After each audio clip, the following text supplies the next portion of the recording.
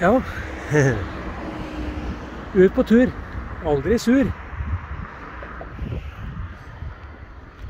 Rulleskøyter. Deilig. Her ser du så faktisk så grunt det. Du ser faktisk på bøyene der.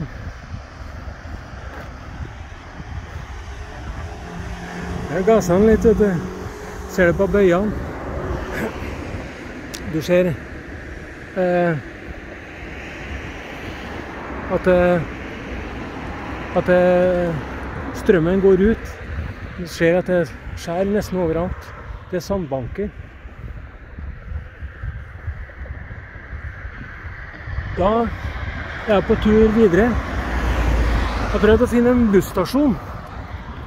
Men eh, det å finne en busstasjon Jeg fant en busstasjon, men det så jævlig dødt ut. Så sa han at eh, det går fra hovedveien. Så tenkte jeg at ja, jeg går bort dit. Det går alltids en buss, det går alltids et tog.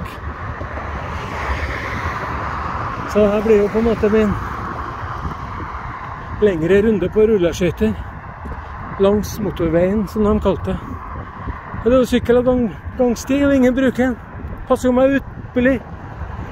Jeg er bra heldig. Det er på ettermiddagen. Litt eh, vind. Men eh, ellers bra. Fortsatt ikke ordna seg med noe internett, så det er vanskelig å søke. Kanskje er eh, kronekortet, kontantkortet, har blitt brukt opp.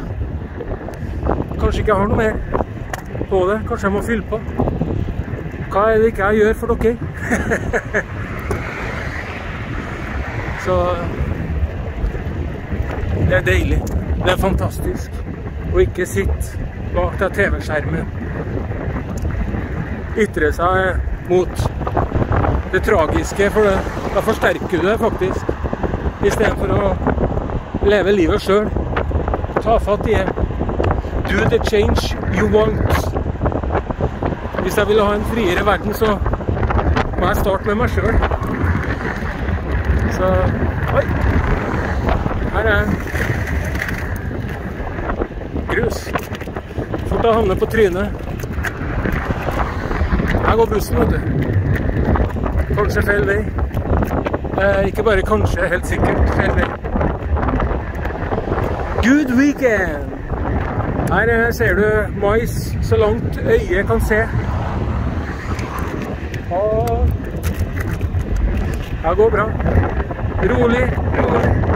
Det ordner seg. Hvis jeg blir sliten, så kan man jo bare haike. Jeg har jo haika før. Så Og hvem kan være så redd som for snille meg? Det kan ikke jeg forstå. Men vi får se. Nå har vi kommet til Side. Siu! Sie. Sie. Da avslutter vi med det for nå, iallfall. Sie.